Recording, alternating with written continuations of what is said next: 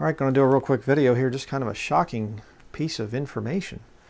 And that is that uh, atheism is actually older than Christianity, according to the Bible. Did you know that? For all the atheists out there, you're screaming and throwing a fit right now and typing your comment, we don't believe in the Bible, we don't believe in the Bible. I, I know that, I know that.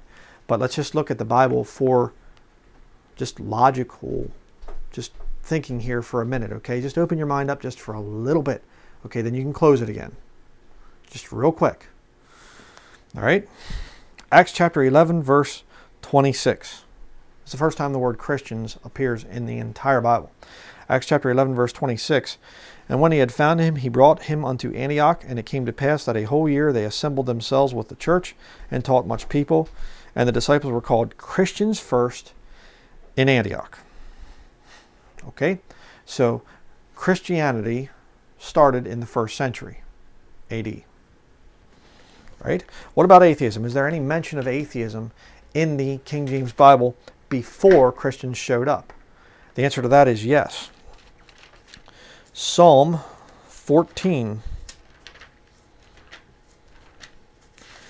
I'm, you know, oh, I just, I, this is ridiculous. You're, you book of lies, blah, blah. Yes, I know, I know, I know. I've dealt with atheists for year, I, years and years and years. I understand. I understand. Okay, but you see, atheism is teaching. One of the main tenets of atheism is that we have more science than they did back in the past when we had all we had was just superstitious beliefs that come from the fairy tale book here that I'm holding in my hands, this Bible that's just ignorant people back in the Dark Ages believed in, even though it was taken from them in the Dark Ages. But we won't talk about that. But, you know, just pagan, or not pagan, but uh, uh, superstitious religious people believe the Bible, and modern science has proved that God doesn't exist. That's what atheism is. I know your stance, but I'm going to show you that that's not true. Psalm 14, verses 1 through 3. The fool hath said in his heart, There is no God. They are corrupt. They have done abominable works. There is none that doeth good. The Lord looked down from heaven upon the children of men to see if there were any that did understand and seek God.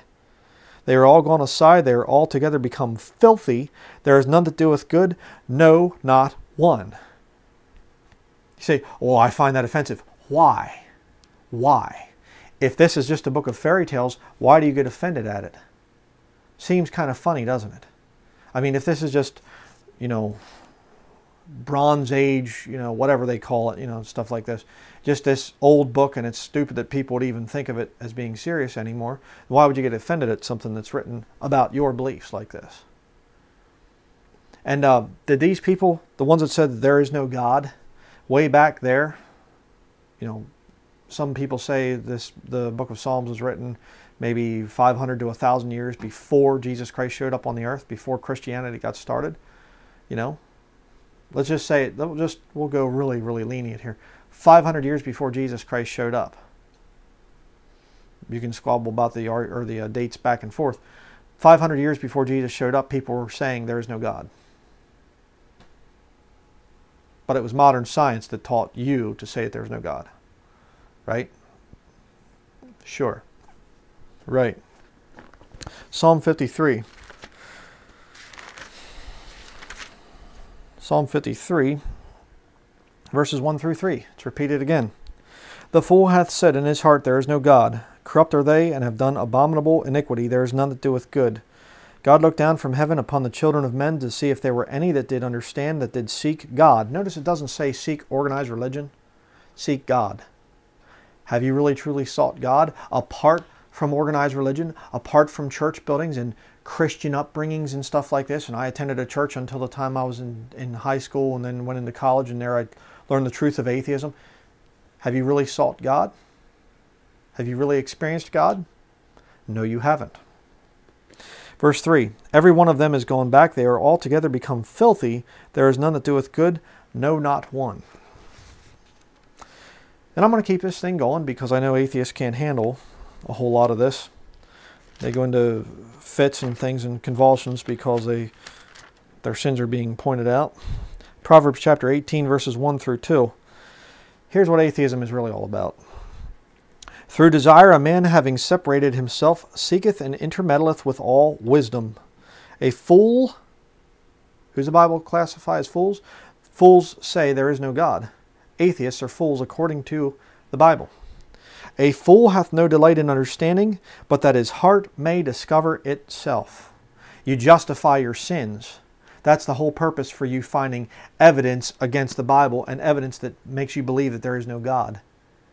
Because you don't want anybody saying, I'm going to judge you someday for those sins. You have no delight in understanding, but that your heart may discover itself. Amen. Proverbs chapter 23, verse 9. Speak not in the ears of a fool, for he will despise the wisdom of thy words. And that's true. You say, well, you just haven't, you, you need to scientifically prove to me that God exists. Why? Are you going to repent of your sins? No, you want to experience God through your intellect, don't you? Mm-hmm well, no, I like to study different things and I like to study religion and I like to study this and things, but I'm an atheist. I'm a proud atheist and nothing will change that. Mm -hmm. You're a proud atheist because you're proud of your sin. That's the whole thing. And me trying to debate every single little point that you bring up is a waste of my time because you are a fool. You say in your heart there is no God.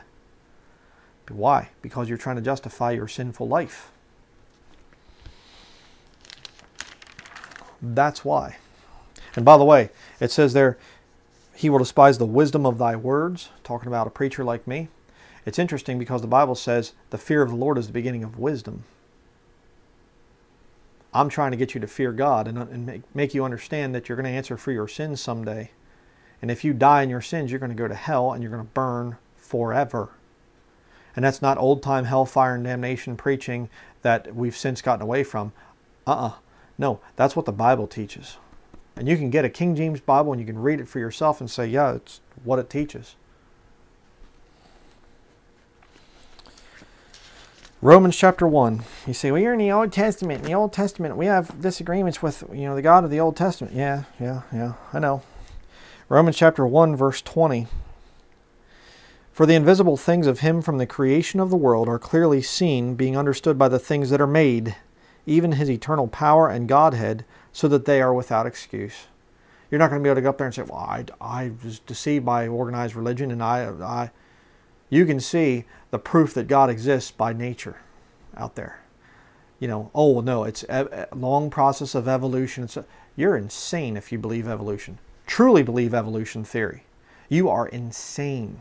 You have mental problems if you think that everything out in nature came about as a random accident at some time in the past, way back when matter came from nowhere, apparently, which violates the first law of thermodynamics, and, and it's getting better and better, which violates the second law of thermodynamics. You're violating science with your beliefs in evolution. It's insanity, if you truly believe that. Verse 21 Because that when they knew God, they glorified him not as God, neither were thankful, but became vain in their imaginations, and their foolish heart was darkened. Look at this one, verse 22. Professing themselves to be wise, they became fools. The fool hath said in his heart, There is no God. You're a fool. And change the glory of the uncorruptible God into an image made like to corruptible man. You worship man. And to birds and four footed beasts and creeping things Wherefore God also gave them up to uncleanness through the lusts of their own hearts, to dishonor their own bodies between themselves. They become perverts, who changed the truth of God into a lie, and worshipped and served the creature more than the Creator, who is blessed forever. Amen. The Bible has your number. You fit right into those scriptures. You know you do as an atheist. I reject and I reject it. Good, good, good. Good for you. Good for you. Reject it. We'll talk about that here in a minute. Not going to be very long because atheists don't have the brains for long preaching. They just, uh, oh, it's, it, I, whatever. Yeah, come up with your little excuses. 1 Timothy chapter 6, verses 3 through 5. If any man teach otherwise and consent not to wholesome words, even the words of our Lord Jesus Christ, and to the doctrine which is according to godliness, he is proud, knowing nothing, but doting about questions and strifes of words, whereof cometh envy, strife, railings, evil surmisings, perverse, perverse disputings of men of corrupt minds, and destitute of the truth, supposing that gain is godliness, from such withdraw thyself. Again, another perfect example, or another perfect description of atheism. Questions and strifes of words, doting about questions and things. what about this? What about that? What about this? And you answer them, and they go on to new questions. You're wasting your time with atheists atheists are fools. And that description shows up long before modern science came along. You see, man has always in his heart said, I don't want to believe that there is a God. Why? Because I'm trying to seek and inter intermeddle with all wisdom and stuff, stuff like this so I can understand my own heart and I can say, well, you know, I can reject those things there because I see some issues here that I don't understand, and so I'll just call them contradictions and, and all these other things. And unless you can prove to me, I need, I live by science. No one lives by science 100% of the time. That's not true. How can you scientifically prove that somebody loves you? It's a feeling. I fell in love because of science. no, it's a feeling. There's a lot of things that are like that. Don't tell me you live 100% by science. You can't. There's a whole lot of stuff that you do based completely on emotion, completely on your feelings. And it's that emotion, those feelings, that make you reject God. Yes, it is. 1 Timothy chapter 6 verse 20. O Timothy, keep that which is committed to thy trust, avoiding profane and vain babblings and oppositions of science falsely so called. Evolution is a science falsely so called. It's nonsense, absolute total nonsense. But I know I've already, you know, you're all your, you know, writing your comments and whatever else. Let me just tell you something. I'm not, I, I have no, I don't deceive myself into thinking for one minute that I'm going to lead every atheist out there to the Lord. Most of you are on your way to hell. You're going to burn forever. Nothing I can do to stop you. You've committed yourself. Okay? But I'm talking to those of you out there that are agnostic, right? That those of you that are saying, well, I lean towards atheism because I kind of think that there's, you know, I've been hurt by organized religion and I, I don't really know if God exists or not and I, I have questions. I'm talking more to you. The full on atheist that's just rejected God, that won't hear any truth or anything about the Lord and, and things and, and they're justifying their sins. Bye bye, see you in hell. Whatever, well, I won't see you in hell. I'll see you being cast into hell. But Here's something that you need to think about, okay? You want real science, right? Because that's what I hear, you know, atheists. Prove to me that there is a God. Prove to me that there is a God. Okay, I'm going to give you some real science for the future. See, it's one thing, if this book is a book that comes from God, the creator of the universe, then God being outside of our time, our dimension of time, should be able to tell you what's going to happen in the future. The Bible says we've been given a more sure word of prophecy. This will tell you what's going to happen in the future. How's that for a little science trick for you? You say, well, how could that be science? That's just you know, speculation about what might happen. Okay, but if I tell you what's going to happen according to this book, if this book says this is going to happen eventually, and it happens, and you can test it, observe it, demonstrate it. The Bible said it's going to happen, and it happens right before your eyes. That's science. You see? I'm going to give you four things that the Bible says will happen in the future. Now, if this book is real, if this book is true, if there is a God, then these things are going to happen. If this book is just a book of fairy tales, then your little science is going to save you in the future and these things won't come to pass. Atheism will lead the way into the future and you can just forget about all these things. Okay? Number one, the Bible says in Matthew chapter 24, verse 7, that there would be a dramatic increase in earthquakes. Well, there have always been earthquakes and stuff, and we know that there's our instruments today are more sensitive, so we pick them up that there's they're picking up more. It's not that there are more, it's just we pick up more. Uh-huh, sure. Uh, there's more earthquakes today than there ever has been. Buildings that stand over in Norcia, Italy, you have this uh, big you know, basilica. I thank the Lord that that thing came down to St. Benedict. And um, the thing came down here just, what, a month ago, something like this, standing for 1,200 years. Big earthquake, whole, whole village, the whole town just flattened, looked like a bomb went off. Earthquake, just these buildings standing for over a 1,000 years. Boom, they go down. Mountain out there in the distance, and it got a big horizontal crack right through it geologists, scientists coming out and saying there's going to be a mega quake someday. Just like the Bible says back in the book of Revelation. So, if the Bible is just a nasty little book of fairy tales and things like this, then uh, science will provide the way to stop the earthquakes. Okay? And I don't mean totally stop every earthquake. I'm saying the increase of earthquakes, don't you worry because your God science out there to the atheists, your God science is going to stop the earthquakes from happening. Okay?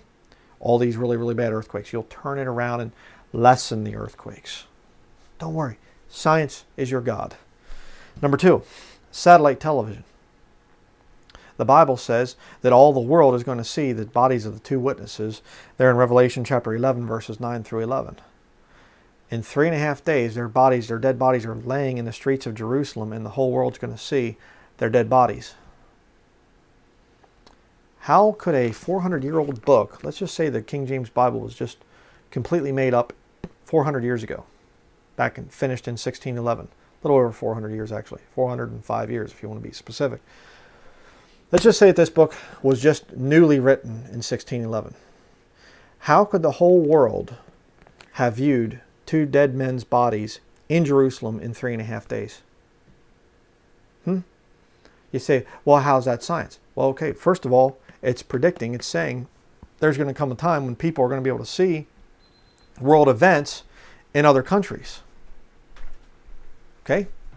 But secondly, I'm going to tell you right now, after the rapture happens and this time of Jacob's trouble gets started, watch and see if two men show up. Moses and Elijah, if you study the whole thing out. If these two guys show up, watch.